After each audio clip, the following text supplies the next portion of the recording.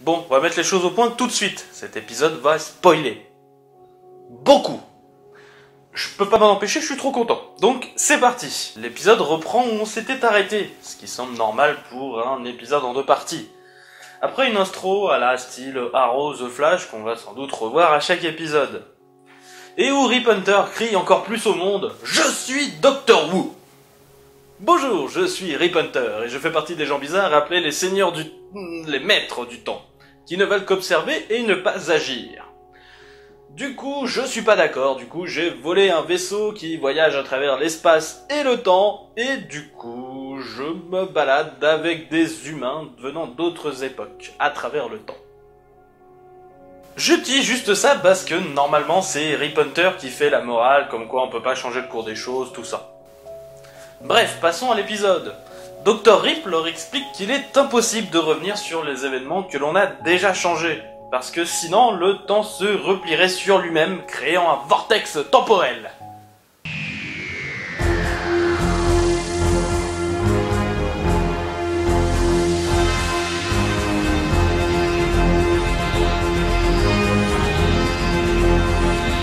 Désolé, mais c'est quand même bien con. Le premier changement ne fait rien, mais le deuxième pète tout. C'est quoi C'est un paradoxe temporel qui fait le videur à l'entrée Il faut avoir sa petite carte de poinçonné? Non, toi tu rentres pas, t'es déjà venu, puis t'as des baskets. Et puis ça marche comment? Est-ce que tu peux revenir euh, pas à la même époque, pas à la même seconde, euh, pas à la même année? Voilà, il n'y a pas de limite. Et si jamais par exemple tu reviens un peu en arrière, tu embauches des mecs pour intervenir à ta place, ça marche ou ça marche pas? Et les autres personnages sont bloqués aussi sur cette conception un peu chelou du temps, et c'est la ninja assassin Junkie qui va remettre un peu tout le monde sur les rails. Et oui, j'ai dit Junkie, car le seul développement à peu près qu'aura ce personnage dans l'épisode, c'est qu'elle aime fumer de la bœuf. Et qu'elle veut se faire le professeur Stein. Jeune. Apparemment, Vandal Savage se rend à une vente aux enchères d'armes pour aspirants maîtres du monde et autres bad guys. Seulement, vu que Dr. Rip a déjà un peu menti à tout le monde et tout ça, bah les gars décident de ne pas suivre ses ordres et de créer un plan par eux-mêmes. Bon, et bah puisque c'est comme ça, je vais rester ici à bouder. Na. Une partie de la troupe décide donc de rentrer à l'intérieur en se faisant passer pour les méchants, tandis que l'autre partie reste non loin en renfort.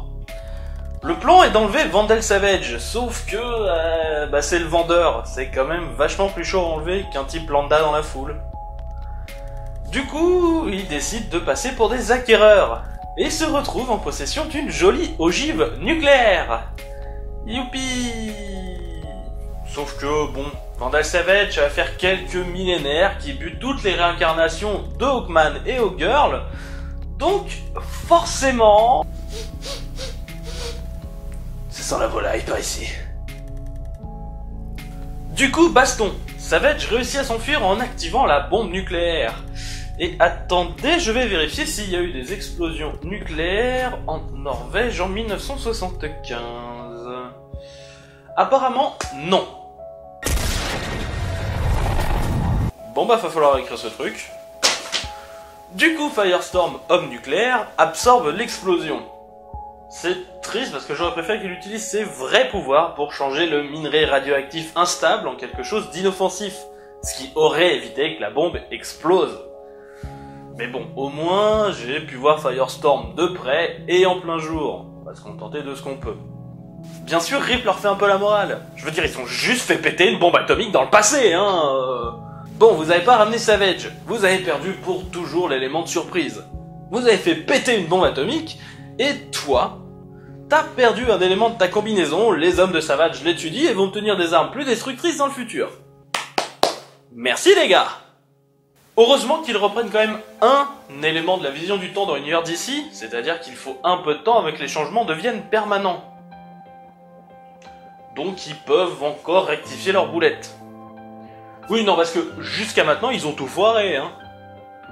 On a donc trois équipes qui se forment. En premier lieu, on a l'équipe Junkie qui va tenter de récupérer l'invention du jeune professeur Stein. Ils vont étonnamment réussir, même si leur mission consistera surtout à fumer les joints du jeune prof et à assommer ce dernier.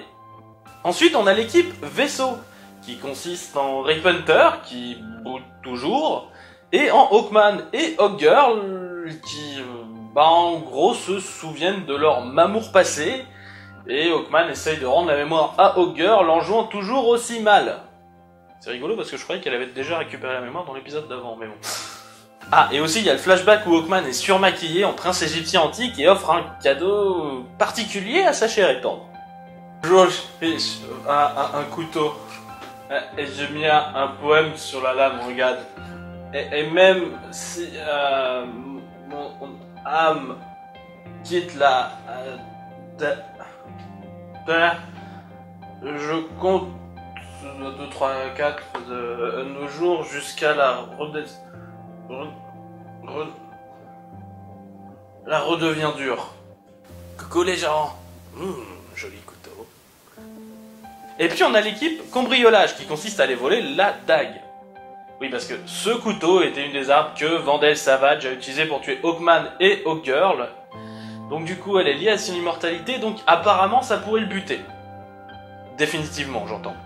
Bon, l'équipe cambriolage foire et se rend compte que le propriétaire de la maison n'était autre que Vandal Savage. Quoi? J'ai bien le droit d'exposer mes armes du crime dans mon salon, non? C'est pas parce que je suis un serial killer monomaniaque immortel que j'ai pas le droit d'avoir des passions, non?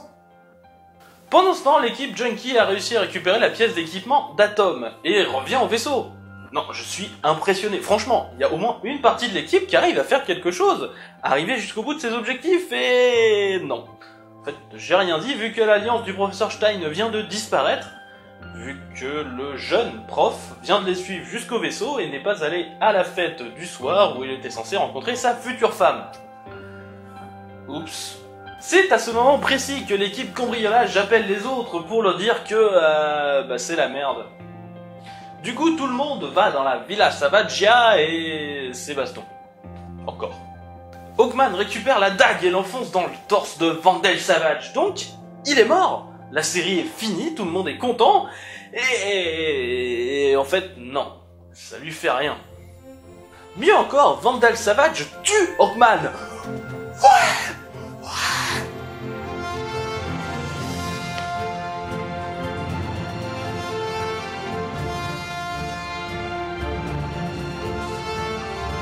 Bref, juste après ça, Savage révèle aussi codement à voix haute que bah, si ça avait été Hawkgirl qui l'avait poignardé avec ce truc-là, ça aurait marché. Pourquoi Je sais pas. Bon, par contre, Vandal Savage plante aussi Hawkgirl. Mais n'a pas le temps de l'achever vu que le reste de l'équipe arrive. Mais l'immortel réussit quand même à s'enfuir par la magie du... du... La magie du rien du tout en fait. Atom, tu viens juste de l'envoyer par la fenêtre. Pourquoi tu vas pas aller le chercher pendant que les autres amènent Hawkgirl à l'infirmerie? Vous êtes plusieurs Dont certains avec des putains de super pouvoirs. Après ce rebondissement tout pourri, Hawkgirl le chouine parce qu'elle a pas dit à Hawkman qu'elle l'aimait. Euh, Rip Hunter restaure le mariage du professeur Stein. Non, non, non, son jeune lui à la fête. Et on nous apprend qu'on peut plus voyager dans le temps parce que les vibrations tueraient Hawkgirl qui est apparemment déjà bien entamée. Donc, cette série est en train de me dire que si un voyageur du temps est blessé, il ne peut que ramper jusqu'à son vaisseau et ne peut pas s'enfuir euh, et attend bien sagement que ses ennemis ou n'importe qui d'autre vienne le finir. Dans ce cas-là, ça sert à rien même d'avoir une infirmerie. Bref, les autres veulent continuer parce que oh là là, on a tué l'un des nôtres, même les méchants. Et générique de fin, le vaisseau décolle. Vu qu'apparemment les vibrations du voyage dans le temps, ça peut tuer les gens, mais que par les vibrations normales, euh, ça va, c'est normal.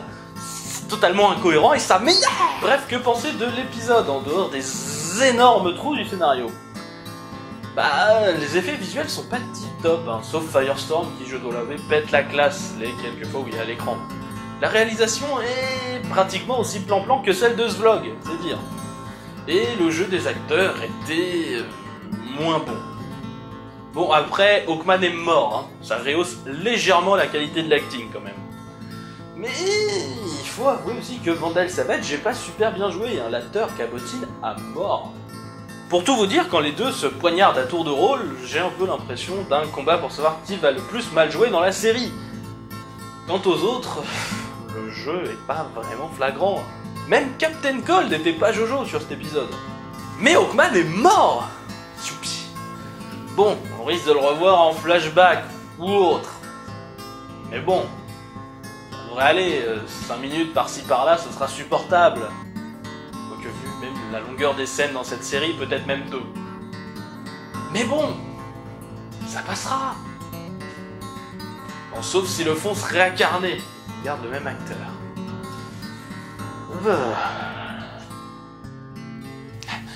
Ça sent la volaille par ici, dis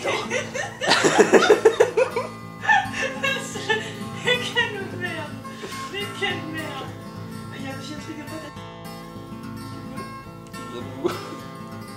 Il était chiant le... Ben voilà. Un poème sur la lame, regarde. Made in China. On a du bon matos.